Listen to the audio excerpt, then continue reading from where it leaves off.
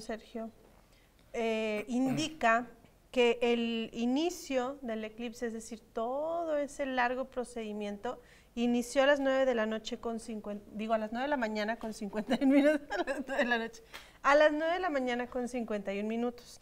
Y el pico máximo fue a las 11 de la mañana con 9 minutos. Entonces, pues eh, fueron los principales momentos de, ese eclipse aquí en nuestro país. Exactamente. ¿Tú ¿Andas qué velada? sucede?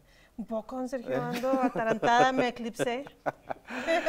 Mire, vamos a ver otro, otro video que nos también nos hicieron llegar. Se trata de eh, Nuestro unos... amigo Elon Musk Nos mandó video. nos mandó video. De los satélites. Dijo, para nuestros amigos de Saltillo. Tele De Tele Saltillo. Saltillo. A ver, vamos a ver.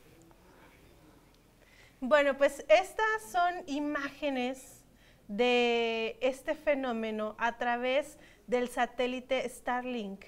Estos satélites Aquel que subieron, subió hace Sí, algunos meses, ¿verdad? Acuérdate que son muchos satélites que están orbitando la Tierra Sí. y entonces uno de ellos pues tuvo la oportunidad de captar el eclipse que parece un, un hoyo negro, Sergio. ¿En serio? Parece un hoyo negro, mira, ahí en México, Sí. en Norteamérica.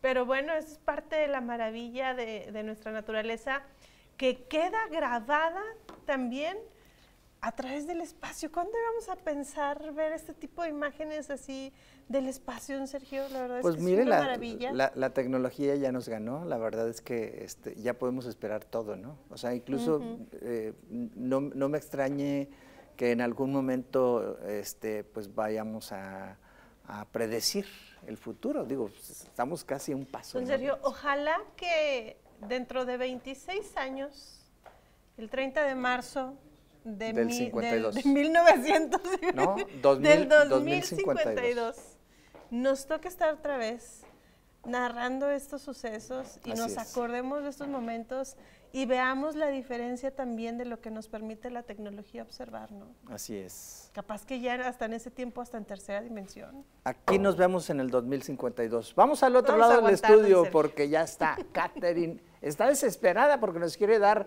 los pormenores del tiempo.